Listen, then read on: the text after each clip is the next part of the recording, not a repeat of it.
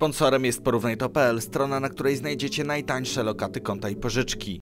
10 stron ze śmiesznymi obrazkami, ranking opracowany na podstawie Wirtualna Polska, 10 Funny or Die, jeden z najpopularniejszych serwisów na świecie tego typu, obrazki, teksty i filmy. W sumie większość tego, co trafia na polski internet, pochodzi z tej strony, ale zdarzają się prawdziwe perełki. Kluczowy temat poruszony na stronie to przetrwanie w koledżu, ale są też filmiki m.in. z założycielem strony.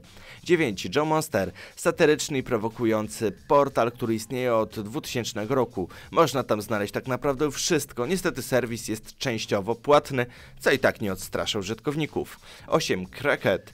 Kiedyś magazyn humorystyczny, dziś serwis. W 2007 roku czasopismo zostało zamknięte i dziś strona wyróżnia się tym, że pojawiają się na niej ciekawostki czy konkursy, w których rywalizują zdjęcia użytkowników. 7. Demotywatory, czyli największy polski klasyk, na którym mam bana do 2020 roku. Demotywatory wymyślono w Stanach jako przeciwieństwo plakatów motywacyjnych.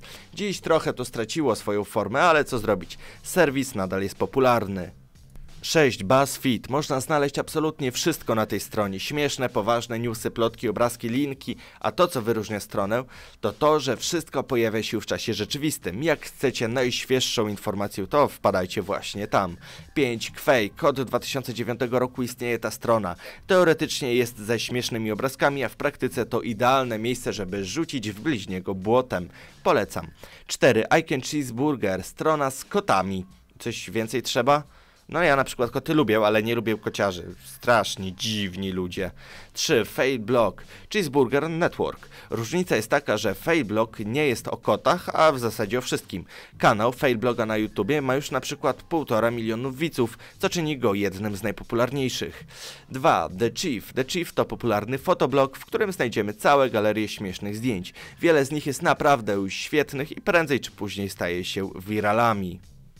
Jeden Wykop, czyli bardzo popularna strona w Polsce, która ostatnio stała się normalnie szeryfem internetu. W sumie Wykop jest dobry, bo też trafiają na niego świeże informacje, a przy okazji można śledzić wszystko na bieżąco. No i kiedyś film z Światowej Dyszki był tam na głównej. Dzięki za obejrzenie do końca. Jeśli ten film Wam się podobał, to zostawcie łapkę w górę oraz subskrypcję, a w komentarzu dajcie znać, o czym chcielibyście kolejną dyszkę. Cześć!